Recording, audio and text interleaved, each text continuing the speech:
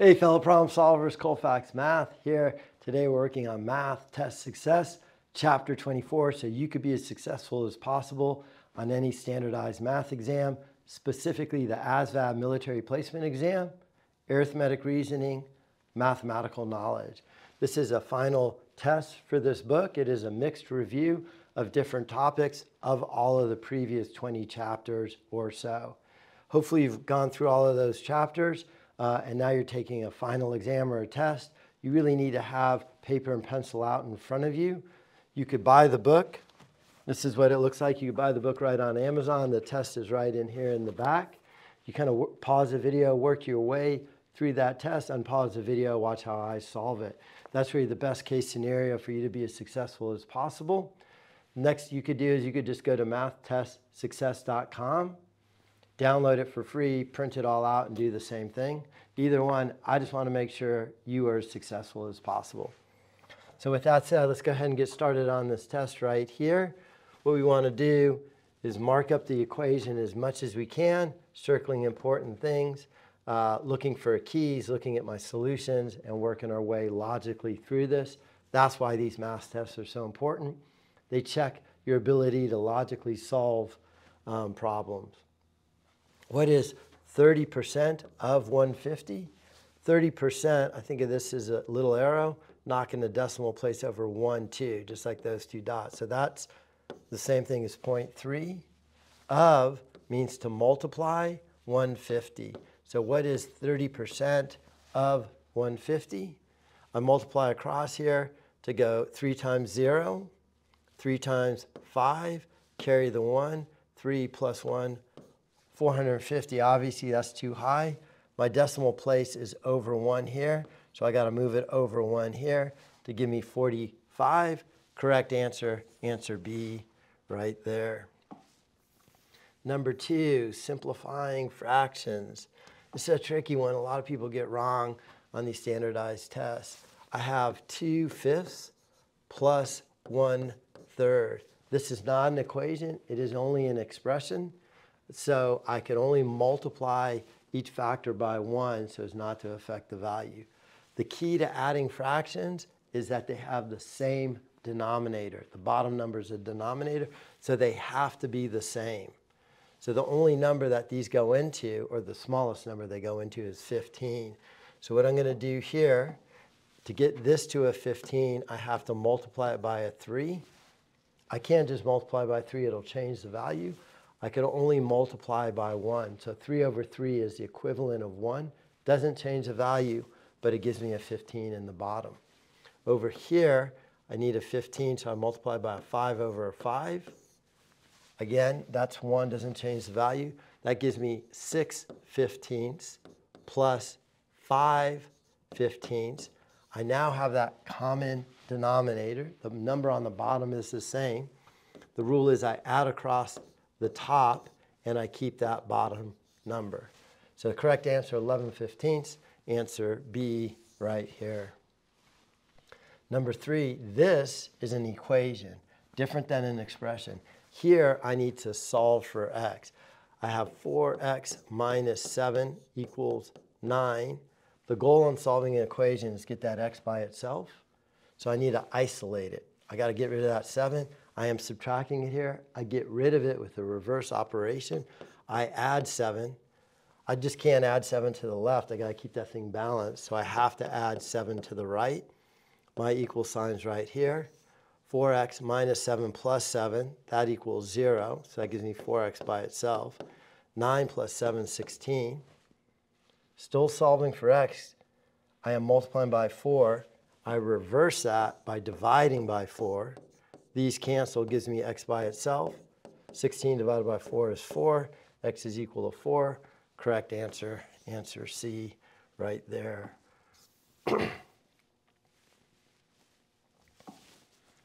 Number four, I have a rate problem here. Guaranteed you'll see one of these. I am traveling 300 miles in five hours what is the average speed? I still want miles per hour. I look up here, all my answers are miles per hour. I don't have to multiply by distance or time or anything. All I need to do is reduce that fraction 5 goes into 5 one time, 5 goes into 300, or 5 goes into 36 times, into 360 times. I still have miles per hour. It is just a reduced fraction, 60 miles per hour. Answer B. Okay, let's take a look at number five. This is really how well you remember math class. This is an expression. I can't solve for x. I just need to factor it. x squared minus 9x plus 20. I am looking for the factors that are going to give me a quantity. You know, an idea of what I'm doing, I can look at my answers and see they're all factors like that. The only factors at x squared to give me x squared are an x and an x. I am looking for the factors of 20 to give me a 9, a 20 and a 1 multiplied together give me a 20, added together give me a 21 or a 19, not that value. A 10 and a 2 multiplied together give me 20, added would give me a 12 or an 8, that doesn't work. A 5 and a 4 multiplied give me a 20, added would give me a 9. So my factors are a 5 and a 4. Either they are both positive or both negative to give me that positive. So either they're both get, they're going to have the same sign, either both negative or both positive. Then I look over here, I want a negative 9, so they both have to be negative. So that's my answer right there, x minus 5, x minus 4. Right here, multiplication is commutative. Doesn't matter if it's this times this or this times this, so same things. That's my answer. But before we move on, let's just do a check here. The reverse of factoring is FOIL. And that's an acronym for multiplying the first terms together. So x times x is x squared. The outer terms together, negative 4x. The inner terms together, negative 5x. And then the last terms together, negative 5 times negative 4 is positive 20. I combine similar terms to get x squared minus 9x plus 20. Correct answer, answer A right there. Problem number six, simplify the square root of 48. Well, I'm looking at the factors of 48. It could be a 24 and a 2, a 16 and a 3. If I can find a perfect square, that's going to be a little quicker. 16 is a 4 and a 4. Once I have a pair one of them comes out. There is no pair for that three. It stays in. Answer is 4 root 3. Answer A. These aren't primes. I mean, I could keep factoring to 2 and 2 and 2. However, they are a pair, so it comes out. So that's the correct answer. Let's say I did it a different way. I saw root 48 is equal to a 24 and a 2. That's okay. 24 is a 12 and a 2. 12 is a 4 and a 3. A 4 is a 2 and a 2. For every pair, one comes out. Here's a pair of 2s. One comes out. Here's a pair of 2s. One comes out. No pair for that 3. It stays in. 2 times 2 is 4. Still gives me 4 root 3. A lot of ways to do these problems. The more you practice them, the better you're going to get. I just saw 48 as a perfect square, so I knew I was going to be able to go there. Okay, problem number seven.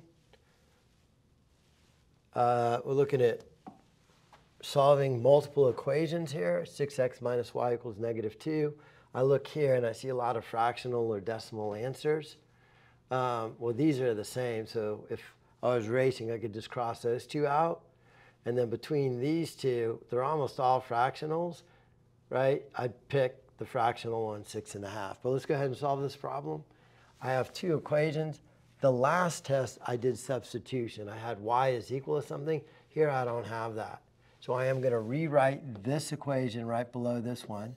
6x minus y equals negative 2. I am going to do a different technique here called linear combinations where I'm going to add these two equations together. 2x plus 6x is 8x. y plus negative y is 0. They cancel out. 8 and negative 2 is 6. I divide both sides by 8. These cancel. x is equal to 6 over 8. I reduce that fraction to 3 over 4, and I feel like, oh, it's answer A. It is not. The problem says solve for y. So now I have to take this value of x, plug it into either equation. I think I'm going to plug it in right there. 2 times x, x is 3 fourths, plus y is equal to 8. I have to simplify a little bit. Um, I am multiplying fractions, no common denominators, but 2 will go into here once and into here twice. So that's going to give me 3 halves plus y is equal to 8. 3 halves, 2 goes into 3 one time with 1 left over is the same as 1 and a half is equal to 8. I'm going to subtract 1 and a half from both sides. These are going to cancel, give me y by itself. I could turn this into a mixed number, get a common denominator, and do those fractions, or I could just think 8 minus 1 is 7 minus another half is six and a half. Correct answer, answer D right there. This solving systems of equations was a lot harder than the last one. We could have also done it with substitution. We could have solved for y here, said y is equal to 8 minus 2x. Take that value and plug it in there. A lot of ways to do these problems. I usually try and show you the quickest way and then show you alternative ways as well. Uh, number eight is laws of exponents. Remember that in the last test, and there's a chapter on it as well. When I have the bases are the same, then I add the exponents. So that gives me a to the 2 plus 8, 10. On the denominator here, bases are the same. I add to get a to the 16th. Now I need to subtract.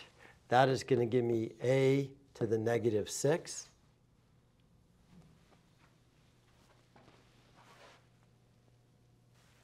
Okay, number eight, we talked about laws of exponents. When I multiply and the bases are the same, I add. When I divide, I subtract. So let's go ahead and do this one. a to the first times a to the eighth is a to the power of 8 plus 2, 10. On the bottom here, a to the fifth times a to the 11th is a to the 16th. That's my first rule of exponents. Next rule of exponents is I have to subtract. That's going to give me a to the 10 minus 16, a to the negative 6. That answer is not there. Um, the way I can make this positive is I could reciprocate it. So I make it 1 over a to the 6, and that's the third rule of exponents. So you can make it negative by putting it in the denominator like that. Correct answer, answer D right there. Again, if you don't really remember all this and you need more practice, go back to the chapter on exponents. Um, okay, number nine, what is the slope between these two points? Remember, we reserved the letter M for slope, and it is going to be rise over run, or the difference in the y values over the difference in the x values, right? It's going to be on the Cartesian coordinate. How far do I go up divided by how far I go over this slope. So I'll call this point 2, this point 1. Therefore, this is x1, y1. This is x2, y2. You could have designated them either way. They'd work out the same. So then here I have y2 minus y1, 8 minus 3 over 3 minus 5. That's going to give you a negative value. That's going to give me 8 minus 3, 5. 3 minus 5, negative 2. Look over there.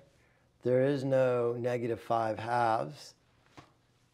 Um, so I'm going to have to reduce this. I'm going to pull that negative out front. 2 goes into 5 two times with 1 left over.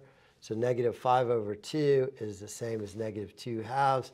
Correct answer, answer D right here. If you're new to channel, think about subscribing hitting the bell so you get notifications, uh, becoming a member, you get early access to the videos and additional videos. really took me a lot of time to put all of these videos together. So by buying that book, uh, it also supports the channel. Okay, if f of x is equal to 2x squared minus 1, what is f of 3? This is on the function notation. What this is saying, f of x and y are interchangeable, but I am saying find f of 3. That is saying this is a function right here, and I want to take 3 and plug it in for my independent variable. So f of 3 is going to be equal to 2 times x. Well, now 3 and x are the same. So 2 times 3 squared minus 1. So now that I have that, now it's kind of a question of order of operations. Remember, it's parentheses first, then exponents. So I have to do my exponents first. So f of 3 is 2. 3 squared is 3 times 3, 9, minus 1. Then I do multiplication before addition subtraction. 18 minus 1, 17. Correct answer, answer B right there. All right, hopefully you took that test on your own and you're just checking your work against mine. Uh, the more you practice, the better you get. That's just the way the world works. The harder you work, the, the better you're going to do at anything. So just keep studying. If you're still here at the end of the video, fantastic job. You're really doing what it takes to be successful on any math exam. Thank you.